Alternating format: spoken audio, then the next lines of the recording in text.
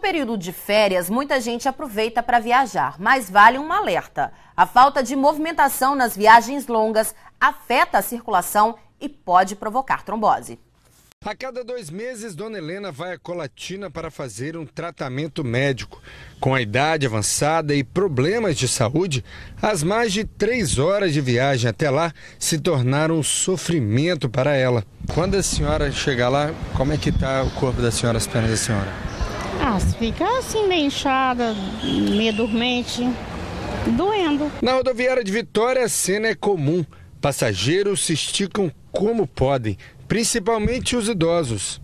Cansaço, pés e mãos frias e principalmente dor nas pernas, sintomas comuns de quem espera e viaja muito tempo sentado, podem ser sinais de uma doença grave, a trombose. Esse angiologista alerta para a doença e explica o que pode ser feito para evitá-la. É, o ideal seria não usar remédios para dormir, porque você vai ficar muito tempo numa posição só e não vai sentir, hidratar perfeitamente mexer os pés, o, o, o, o ato de pedalar já é importante. Você senta e faz aquele movimento de pedalar. Isso já é importante. E, se possível, caminhar, mas isso é mais difícil. Uma coisa que a gente deve evitar é roupa apertada ou uma roupa, um cinto muito apertado. Se você vai viajar, procura a roupa mais confortável, é a roupa mais folgada que você tem. Apesar da maior incidência em idosos, os jovens também precisam se cuidar. Os jovens não estão livres, porque hoje as mulheres usam anticoncepcional cedo, é, o índice de obesidade é muito grande, tá? É, o pessoal mais jovem, quando viaja, quer tomar bastante uísque de noite para aproveitar lá, relaxar. Então, e alguma, uma boa parte da população pode ter alteração de fator de coagulação que vai aumentar o risco de trombose. E a dengue é o tema da nossa enquete da semana aqui no Hora News. Nós queremos saber. Você acha que a falta de alguns cuidados da população contribui para o aumento de casos da dengue? Sim ou não? Vote, dê a sua opinião. O site é o www.simnoticias.com.br. Novos medicamentos e tratamentos para curar ou controlar doenças têm sido foco de algumas pesquisas desenvolvidas aqui no estado, mas há regras para a realização desse tipo de estudo. Quando a Isabela nasceu, Sheila não produzia leite suficiente e a alimentação da pequena teve que ser complementada com um leite em pó, que se aproxima do leite materno. Eu estava dando porque não estava tendo leite suficiente para ela, no meu, no meu peito.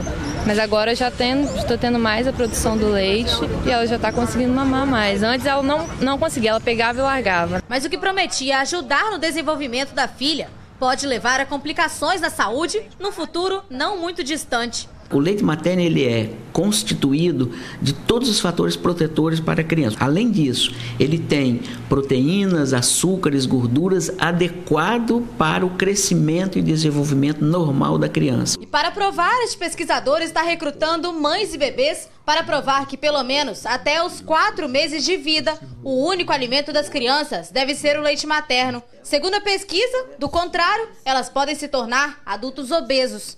Serão examinados bebês com idade entre 3 e 4 meses, alimentados somente com leite materno. A saliva dessas crianças vai passar por uma avaliação nos primeiros 15 dias do processo e novamente quando elas completarem 11 meses de vida. E para garantir o resultado, as mães vão ingerir uma água com composição mais concentrada, o que deve se refletir nos exames das crianças.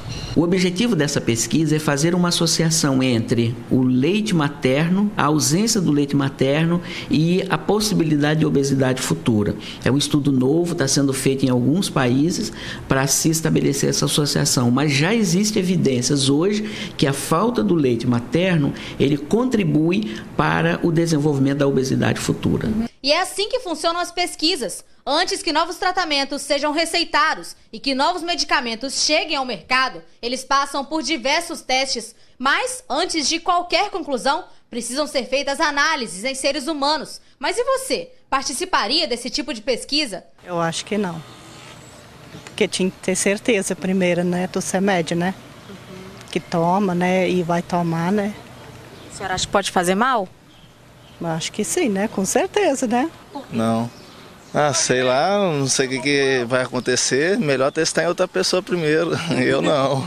Se eu tivesse uma doença e precisaria de uma solução para o medicamento, aí sim eu participaria. Se eu não tenho doença nenhuma e não preciso desses medicamentos, eu não é, botaria minha vida em risco para poder fazer teste de medicamentos.